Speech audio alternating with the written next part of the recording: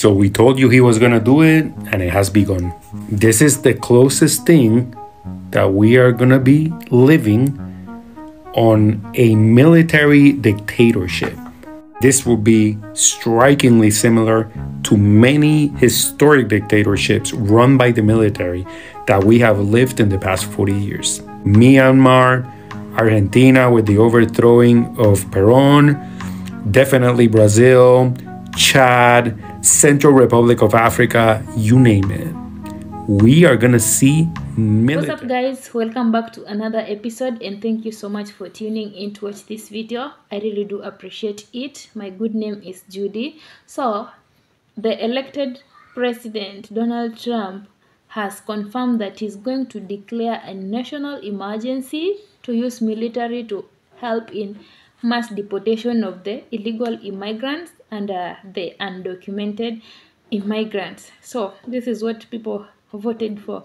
This is not only going to affect a portion of uh, the immigrants, but it will affect the United States as a whole. Let me show you this then. We come back for discussion. We have breaking news, and yes, this is actual breaking news confirmed by ABC. Trump has confirmed that he will declare a national emergency on day one. Why would he do this? To free up military assets. That's right, deploying the United States military on U.S. soil for his mass deportation plan. He confirmed it himself today. This should terrify every single American. This is essentially martial law being declared. Now, his border czar is on his way to Mar-a-Lago to put the finishing touches on this plan, which could include, according to Homan himself, the deportation of entire families that include American citizens. It is estimated that there are 11 million undocumented immigrants in this country, Deploying the US military to round up 11 million individuals or more, if we're planning on deporting families with American citizens as well, is not going to take one day. This country will essentially be on martial law, or under martial law, I should say, for some time. And when would it stop? Would it just be the deportation of immigrants?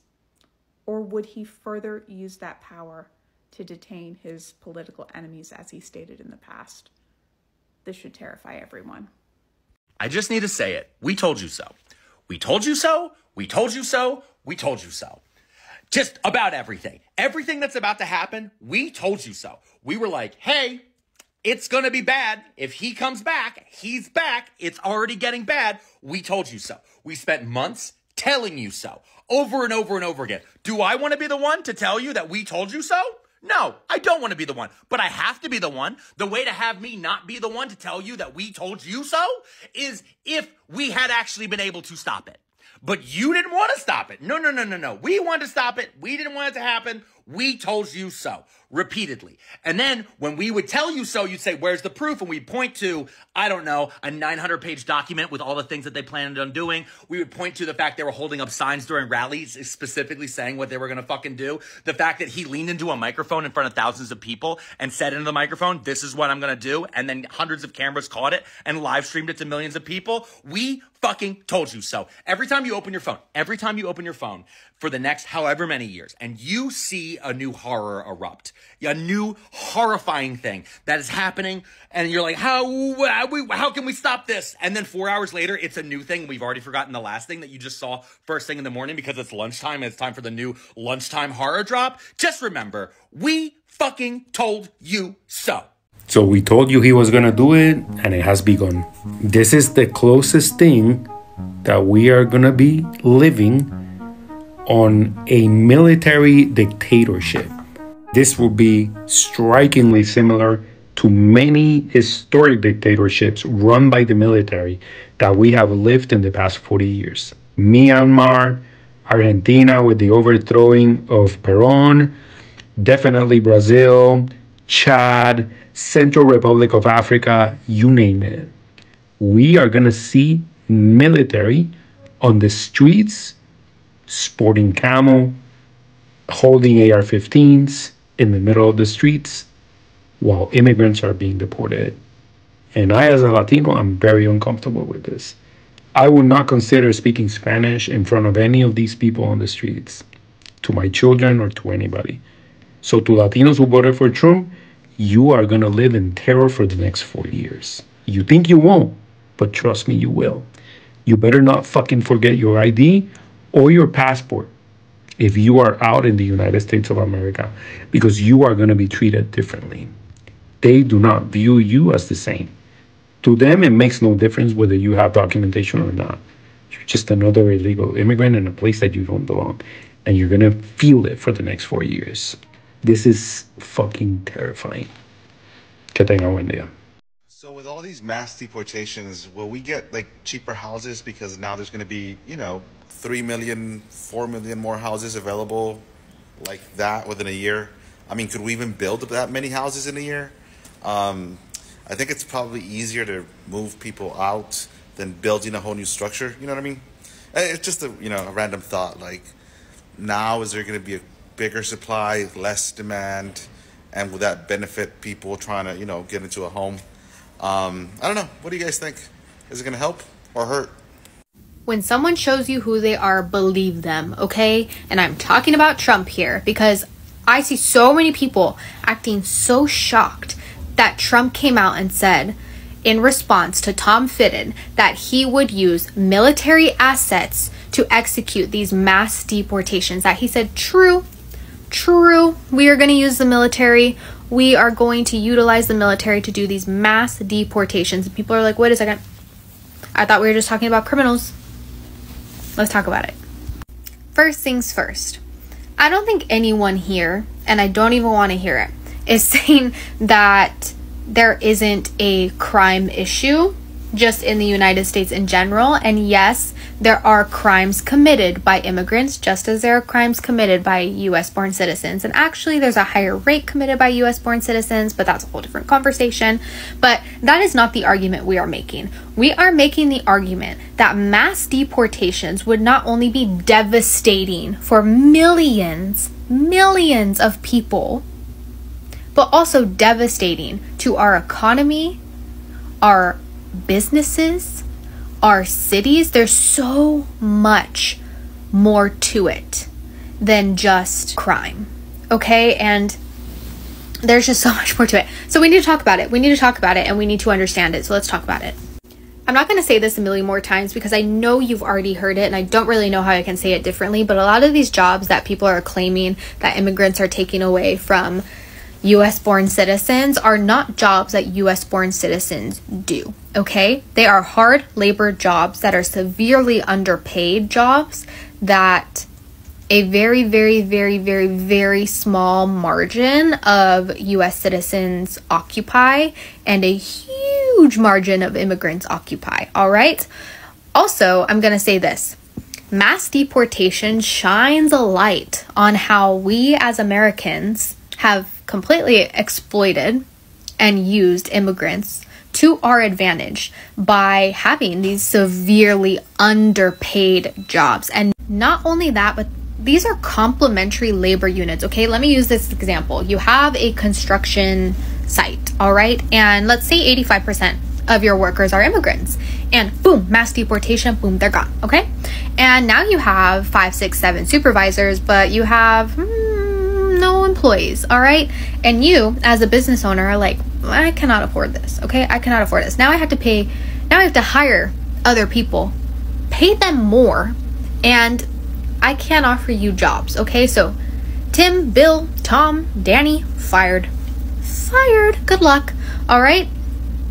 US born citizens out of a job because what? Because we deported immigrants. All right. Complementary labor units, baby. It is way bigger than we think it is. Not only that, let's talk about the economy. Let's talk about the economy real quick. When we're talking on a simple level, economies, local economies will take a hit because there will be fewer people um, shopping at businesses, fewer people eating out at restaurants, fewer people contributing to the economy. Okay? And when something huge like this happens, it's not a trickle down, it's a flood. Right now, we're at about a 3%, 4% growth um, in our economy, which is good. That's average. when we do a mass deportation, we are going to see and feel a huge difference, especially in our local economies. This paired with Trump's little tariffs, it will not be long before we find ourselves in a recession, okay? Hate to break it to you, but that's what would also the resources it would take to deport over 11 million people so much so much money. Not only that but he him pulling military assets into this and a mass deportation of this size would probably mean temporary like detention areas is a whole nother issue in itself but there you go even more resources pulled from america. And i'm sorry but isn't that what you don't want to do? You you want us to have more resources? You want us to focus on america and our people? The funny thing is not it's not even fucking funny but the funny thing is mass deportation and what you think you're doing for the american people is actually going to pull resources away from the american people chew on that do I think that Trump will be able to achieve this at the level that he's saying he's going to achieve it? Um, like Eisenhower in the 1950s with the 2.1 million people um, deported? No. I don't think that he's going to be able to. Do I think that the misinformation and the hateful rhetoric that he is spewing is harmful? Absolutely. I 100% do. I also think he is trying to build the walls of his house before he has a foundation. He is so zoned in and zoomed in on one thing that he's not seeing anything else that's going on around him. And that's why he's not a good president or politician because he has such a zoomed in scope and view of certain things and he is not looking at the bigger picture and he is not building a foundation before he tries to build his house. It is just, you know, and then it's going to crumble. And then what? What do you have? The first shake and your house goes down. Okay. So I mean, he can continue this and continue saying these things, and he can continue, you know, kind of digging himself a hole because I, I ultimately do think when when Republicans come out and say and when people who voted for him are coming out and saying, wait a second, wait a second, this is not what you said, which it's like he's always said this, but like this is not what you said in your campaign that's when you know there's an issue. So I'm kind of like, go ahead and dig, keep digging yourself this hole. But I do think it's, it's extremely harmful because people still believe him and they are not doing the research necessary to understand the drastic impacts, even at a scale of, you know, if he manages to do the 2.1 million, that would eh, affect our economy and so many families and so many luxuries that we have as American people, and people don't even realize it. And I think that is extremely harmful, extremely harmful. Not knowing that immigrants are a crucial part of the US economy and workforce and provide so many things that we rely on is extremely, extremely harmful. So I urge you do your research, do your job as American people and understand the complexities that come with immigration and the statistics behind what is actually going on in the world. And to all my beautiful, wonderful immigrants and dreamers and people who have family members here who are undocumented, I see you. I stand with you. I love you. You deserve to be here. You deserve a chance. Do not let this get you down. Do not let this scare you. Like I said, this is going to be very hard for him to do at this large scale, but there are people fighting for you. There are people in your corner. There are people trying to spread truth for you. And I do really think that as he continues to talk, he is just going to dig himself a hole and more people are going to seek the truth. I really, really hope so, at least. So please stand with your head tall because you do belong here. I love you. We love you. And if you ever need a safe space, I'm here. Mass deportation of Mexican immigrants. And all Americans. he is going to put military on the streets of the United States of America. He is going to deport Mexican and American citizens in deportation. Basically, declaring martial law where nobody can do shit. And and what this lady said is true. How long will that be? How long? Is a I mean, there's a lot of undocumented people in this country. And shipping them back down to Mexico doesn't mean they're actually going to stay there. They're going to try their best to get back aboard the border and try to get back in.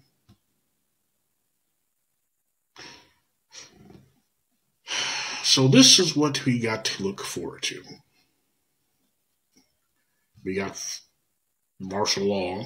Uh, we got mass deportation and the mass deportation all the criminals. It doesn't matter if they're fucking criminals or not. They're going to be deported. And basically, he is saying that martial law will be law. So, yes, this should scare the shit out of American citizens of all types. Because if he, if he declared martial law without declaring martial law, what else does he have in store for all of us? I mean, the man is fucking crazy and you elected him president. Project 2025 will kick in as well. Abortion bans will be everywhere. Mass deportation with the military's help.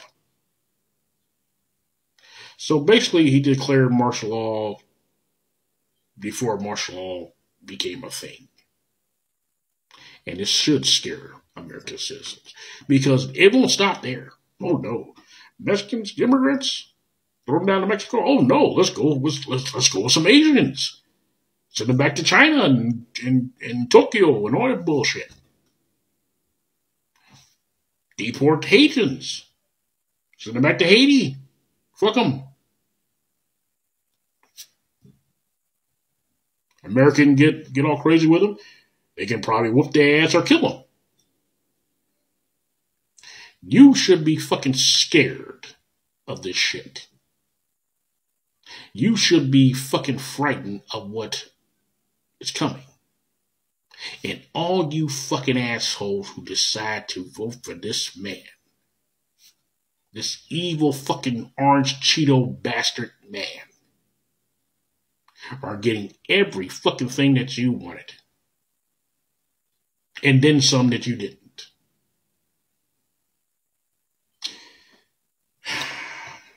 mass deportation of American citizens who are married to immigrants. They're getting kicked out too. Yeah, fucking throw it all out.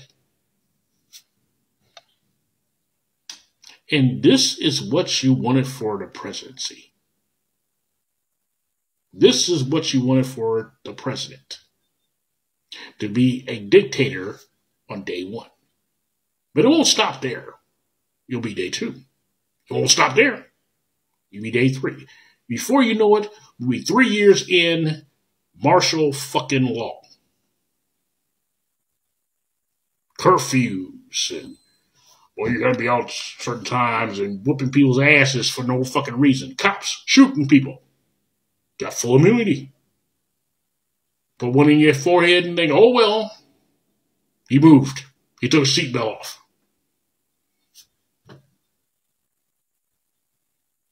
And this is what you wanted for the presidency. This is what you fucking voted for. This is bullshit. So, yes, all Americans, black and white, skinny or t- tall or skinny, tall or short, fat, skinny, whatever you should all be fucking scared to death. Because this man is basically clearing martial law.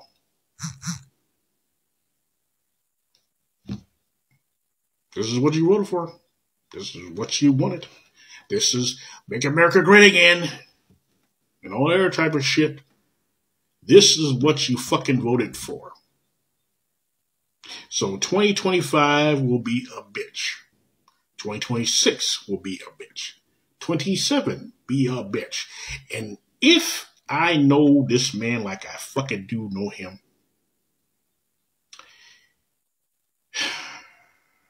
come the election of 2028,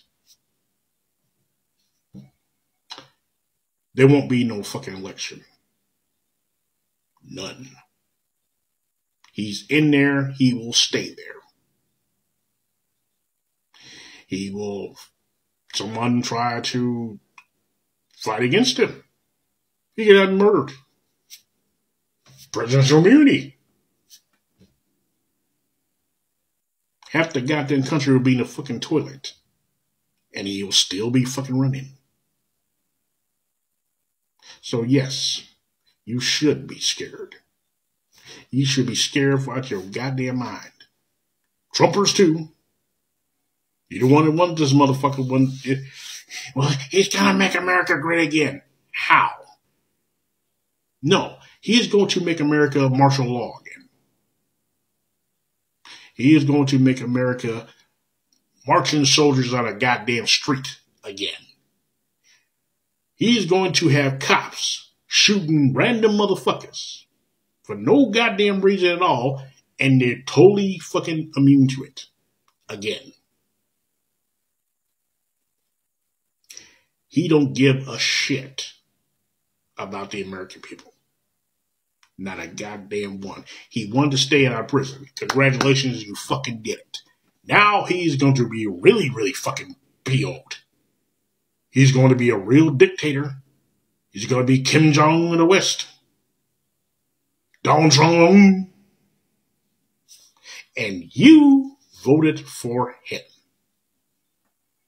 You voted for all this bullshit. and you will be the first ones to complain. Boo hoo, fuck you. You wanted this shit. You fucking wanted it. And now you're going to fucking get it. Soldiers marching down the street. Cops shooting people, beating them down with no problem. Tariffs over here, tariffs over there. This is what you voted for. Do you want to make America great again. Wow. Okay. Well, it's not going to be no fucking great America. That's for damn sure. It'll be fucked up America. Piss poor America. Evil America. It'll be all those damn things again. But not great. No, not at all. And this is only the fucking beginning. We got four four years of this shit. All because of you. Thank you so goddamn much for putting a dictator in the fucking office of the United States of America. Thank you for putting a fucking felon in the Oval Office. Thank you for putting a rapist ass in the fucking White House. Thank you. Thank you so goddamn much. And every fucking thing that he does after he takes his hand off that fucking Bible, we try to fucking tell you. We try to fucking warn you. But no, you want to make America great again. You get what you get. So, according to most of the videos that I've been watching, people are saying that the immigrants in the United States have contributed to a bigger percentage of the United States growth. So, in case they get deported back to their countries, of which some of them doesn't even have uh, the documents showing proof that they are the residents of the countries they want to get deported to because most of them have stayed in the United States for quite a long period of time. And again there will be a lot of money spent on that because who is going to pay those uh, military who are going to aid in the deportation of the illegal immigrants. It's the citizens not the donald trump. It's the citizens who are going to pay high amount of uh, tax to help in payment of the military. So it's going to affect the united states as a whole. And also people are saying that the skilled personnel whom they trained in their own country what if they get deported? How will america be? Who will be those people working on the farms? It's not easy. So guys choices have consequences. If this is what most of the people voted for it's time. It's time people start facing the consequences because i think this must before i was thinking that this mass deportation thing is a joke but right now it's coming to a reality. Hey how will people survive after mass deportation? How will those companies that uh, most of the mig migrants work on how will they run those companies? Because uh, to be honest most of the uh, hard labor were being performed by the immigrants. So if they get deported to their countries F around and find out season is here right now. The Latinos who voted for Trump, it's time. Not only Latinos, the Muslim Americans, the Asian Americans who voted for Trump, like all those people who are immigrants who voted for Trump. It's time to face the consequences because I think this man is not going to joke with any immigrant. And if those are militaries will be on the streets, how will the streets of America be? It it's like he's going to declare a war. Hmm. let me stop there. So let me know your thoughts in the comment section and thank you so much for tuning in. Until next time it's a goodbye for now